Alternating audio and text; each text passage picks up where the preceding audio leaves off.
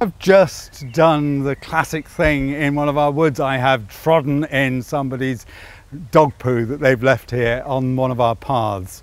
Um, really annoying. Um, I do do appeal to dog owners to please bag up the dog poo when your dog poos in our woods.